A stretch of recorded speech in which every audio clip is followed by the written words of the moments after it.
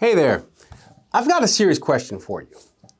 If I could hand you a prescription, no side effects, no pharmacy, completely free, that could cut your risk of cancer by about almost 40%, would you take it? It's not a pill. It's not some secret supplement. It's something you already know how to do, but probably aren't doing enough of. And in 2025, we finally have the science to prove just how powerful it is. The prescription is exercise. Yeah, exercise. Not just for weight loss, not just for heart health. I'm talking about real clinical impact on cancer recurrence. A new randomized controlled trial just published in the New England Journal of Medicine shows us exactly how movement can keep stage 3 colon cancer from coming back. That's metastatic colon cancer. Let's break it down. What the study actually found, why it works, and how you can use it to stack the odds in your favor starting today. So here's the deal. This was a clinical trial, not a blog post, not some mouse study, not something the lady at the candy store told you. Researchers followed 899 people with stage 3 colon cancer. Everyone had surgery and chemo. Then they were split into two groups. One group got the usual advice eat better, move more, run along. The other group got structure, a real exercise plan with coaching, accountability, and movement tailored to their fitness levels. What happened? After five years, the structured exercise group had 28% lower risk of their cancer coming back. By year eight, that number grew to 37% lower recurrence. That is wild. Better outcomes than some chemo drugs just from getting consistent moderate exercise. And before you picture Ironman training or boot camps, think again. Most participants walked, did light strength training. A few even kayaked or you did cross country skiing. But the point was consistency and not intensity. Simple, sustainable movement done regularly was enough to change lives. Now, you might be wondering, how does walking three times a week reduce cancer recurrence? This isn't some magic potion. This is actually biology.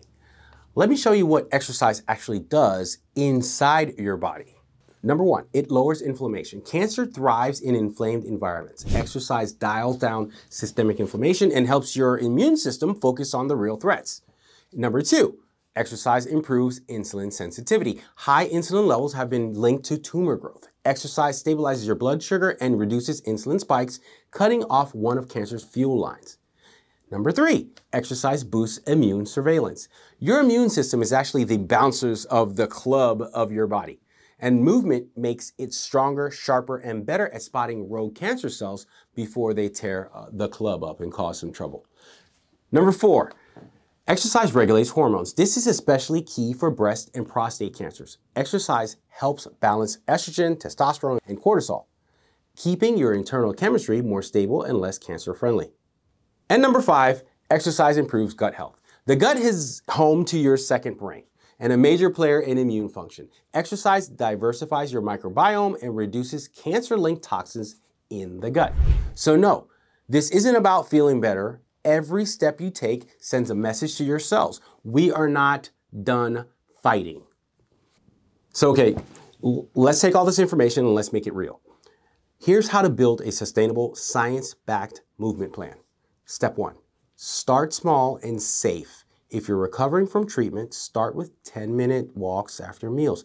It's gentle on the body and powerful for your metabolism at the same time, but always check in with your care team first. Step number two is to build up to 150 minutes a week, minimum. And that's 30 minutes five times uh, a week, five days a week. Walking, biking, dancing, whatever gets your heart rate up, you should be able to talk, but not sing while you're doing it. And step number three, add strength training two to three times a week. This doesn't mean bodybuilding. Use light weights, bands, or even body weight movements. Strength training supports your metabolism, immune health, and recovery. Step number four, remember to make it fun and social. Join a walking group. Sign up for a low impact dance class. Movement is medicine, but it's easier to stick with it when it feels like play and it's social. Step number five, track your progress, not perfection. Use a journal or an app to log what you're doing. Don't chase burnout, chase consistency and progress. as you go.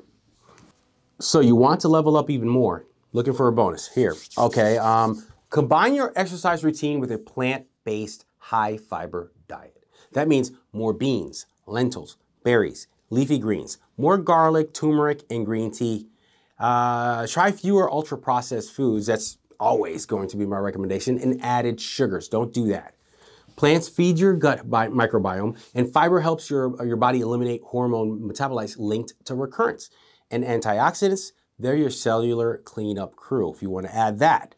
This isn't a crash diet, it's a long term cancer fighting upgrade.